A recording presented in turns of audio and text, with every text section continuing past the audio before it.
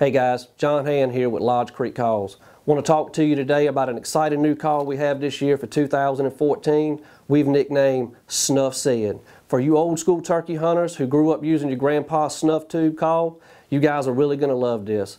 We've made this call in a hedge style barrel with a flared end piece with a latex reed on top. It's something different for those late season birds who've heard every type of mouth call and pot call all season long. I'm going to demonstrate it for you right here.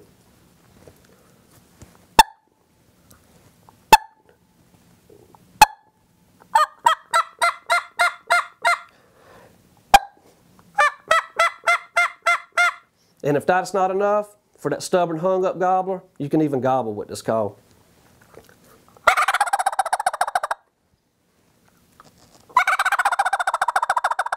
Once again, guys, this is John Ham with Lodge Creek Calls with the Snuff Said. Be sure to get you one in your vest for 2014.